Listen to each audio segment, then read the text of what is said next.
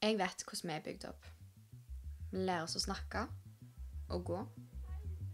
Vi lærer oss at vi ikke skal dra i håret til den vi er sur på. Vi lærer oss å være realister og ikke sikte for høyt.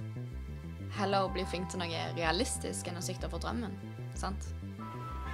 Vi lærer oss at intelligens blir definert til ternekast 1 til 6, og at livet vårt er satt sammen av timeplaner, rangeringer og rutiner. Livet vårt er blitt en statistikk, og hele vårt trossystem er basert på tall.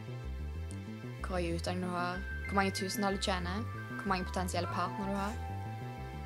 Alt har et tall. Eller Her har vi jo bomma helt.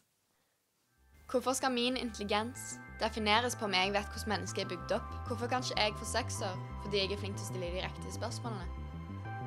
Eller fordi jeg er flink til å spille teater? Eller fordi jeg er en drømmer? Jeg vet hvordan jeg er bygd opp.